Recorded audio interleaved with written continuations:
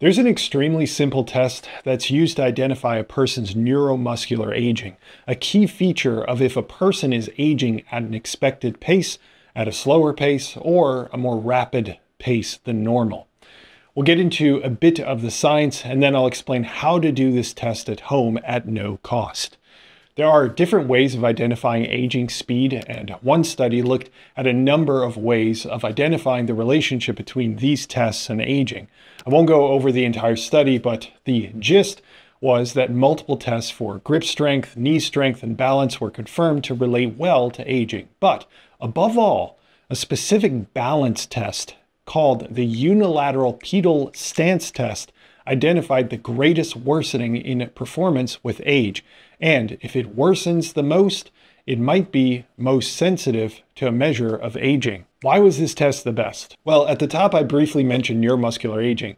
This uh, test measures that well, and it also tests vestibular function, inner ear balance, and uh, proprioception, a sense of the joint position. So when performing this test, you have to have a good sense of inner ear balance, enough strength to hold yourself upright, position your joint in a balanced position, and your brain has to be communicating nonstop with your muscles to keep adjusting which muscle cells are going to be activating and deactivating as necessary to maintain the position. Beyond the fact that it tests your physiology directly as neurons extending from your spinal cord have to have great connections with your muscle cells, which weakens with age if you aren't physically active, but the test will also help prevent falls, especially in people in their 70s and beyond, where fall risk is a greater and greater issue. Falls are especially harmful as many people who are hospitalized for falls end up dying soon afterwards. It's really no joke.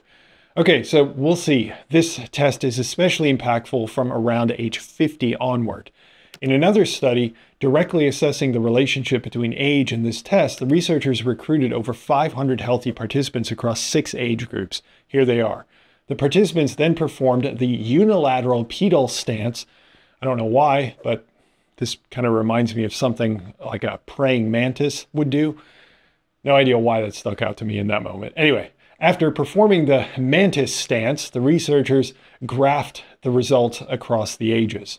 Strikingly, if you were to compare each younger group, say under 50, to every older group, there were significant differences. Even if you were to look at people in their 60s, they tended to do much better than people in their 80s and 90s. Not exactly surprising, but still telling. Anyway, here's the data. We have the age categories on the bottom, and we have the seconds able to successfully perform the test on the vertical axis. I suppose I don't need to spell it out, but there's a relatively consistent effect over 40 second test result for those in their 50s and younger. And then there's a rapid decline in the performance of everyone from then on. It's striking and a damning result, don't you think? Reading the graph accurately can be a bit tricky. So let's uh, break this down by age category and what your target should be based on this study. So if you're between 18 and 39, the average was around 44 seconds.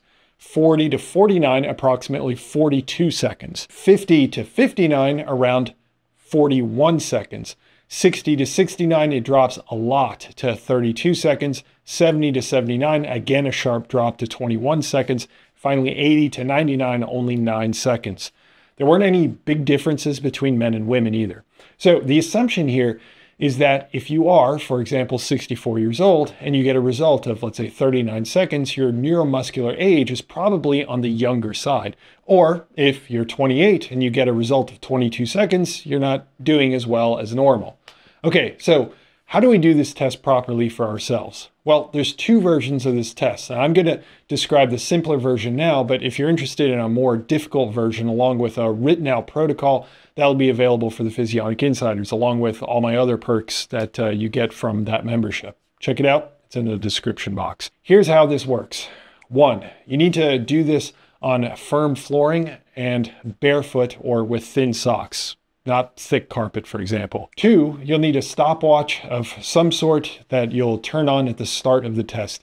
Getting the exact start right makes all the difference on the results, considering that the results are seconds apart.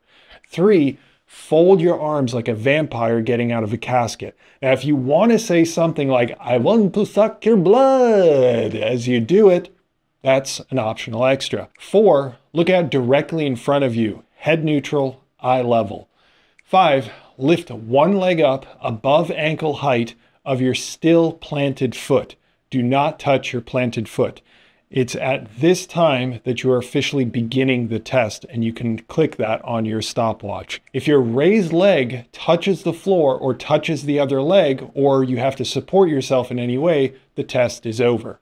Now, critically, most studies do the test three times and either take the best result or the average result. The numbers that I listed out earlier were based on the best of three attempts. So the main points here are one, a valuable test for assessing aging is through this unipedal stance test, or as I fondly call it, the vampire mantis test. Two, this test tracks with declining age, so better results implies better overall neuromuscular age. Now, another exercise I really like is clicking to this next video and click and click and click and click. That's right, keep it up.